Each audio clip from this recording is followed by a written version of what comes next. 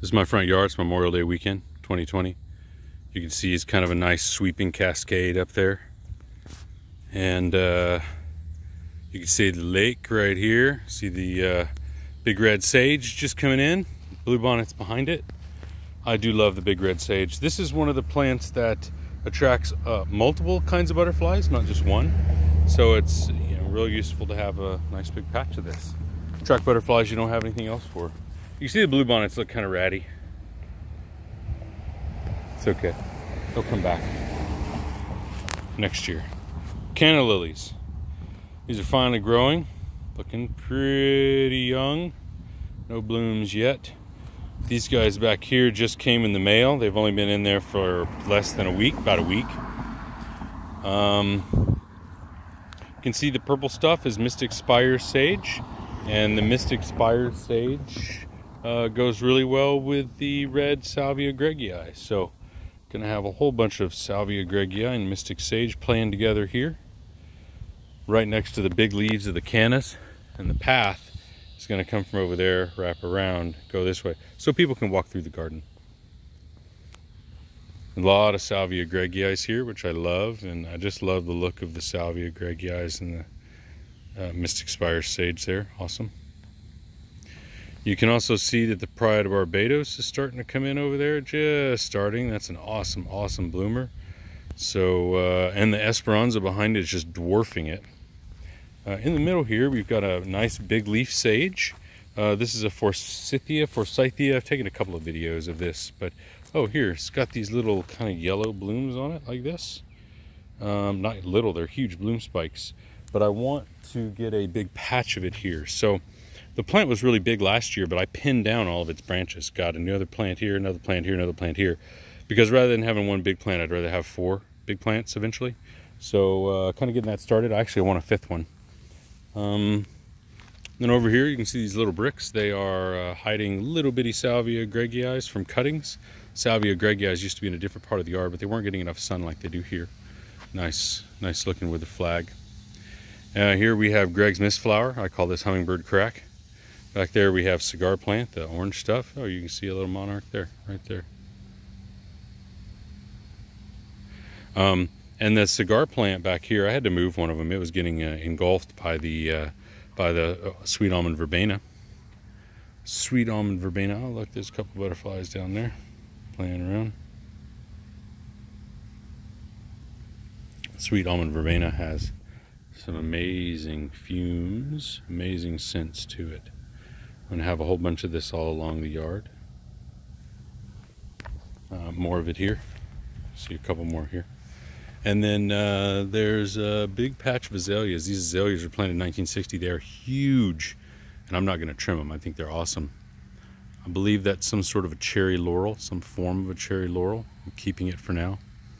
And then we've got a, uh, a, a water oak growing in over there. It's a volunteer. I'm cultivating it part of the no-mow concept. I've uh, got a bed of mountain laurels just put in over there.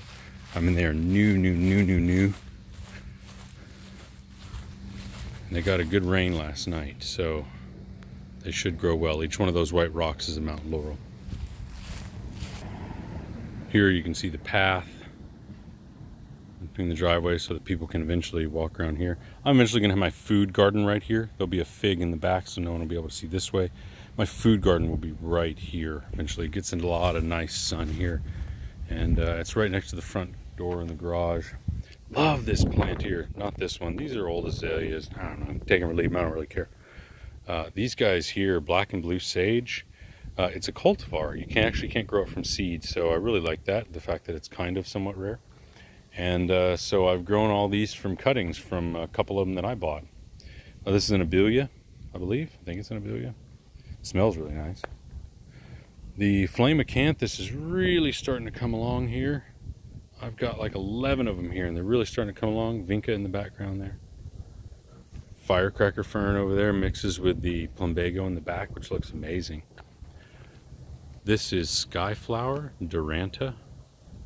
I'm gonna have to move it, it's too big. That's the focal point of my yard.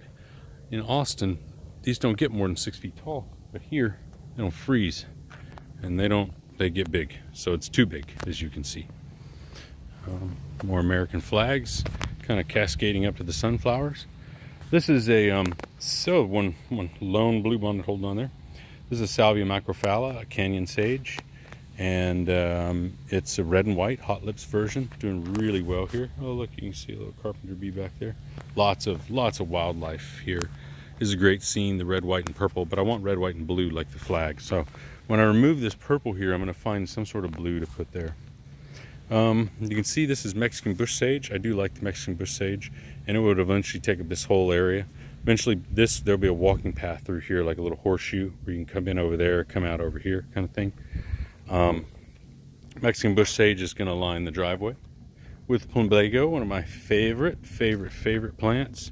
I got five of them here. I've pinned down branches for each one of them on the back side, so I should have five more growing. Man, they're growing slow.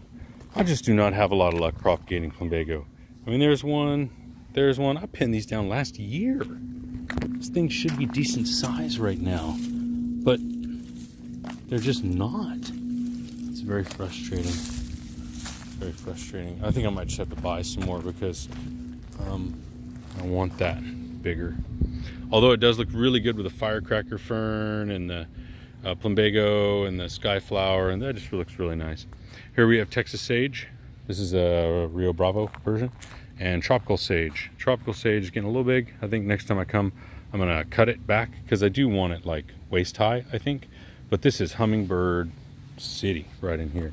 Tropical sage is dominating and I'm letting it. I just pulled weeds and I'm leaving this here because I want the tropical sage to dominate. So tropical sage and azaleas and uh, the big tree here is a black walnut tree, which is really super awesome.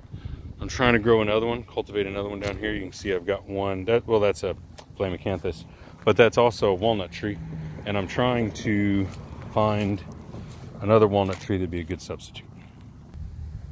Last but not least, sunflower and larkspur garden. Man, the sunflowers look awesome, right?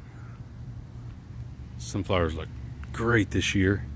Larkspur is still hanging in there. Really proud of the larkspur. But ultimately, just look at the sunflowers, man. Those are Maximilians. Those are native sunflowers. They look wonderful. Got a couple over here as well. So um, I really like the view. Sunflowers and the American flag. All the way down. Those are my three flags. Pretty cool garden. And over here we have Turk's Cap. Turk's Cap is big. It's out of control. I'm going to have to cut it back a little bit. But uh, this is another hummingbird paradise right here. I do love the Turk's Cap. I mean, it just looks beautiful. It's a little overgrown back there. I'm gonna have to do something with it, but uh, I haven't even gotten to the side of the garden yet, so it's coming.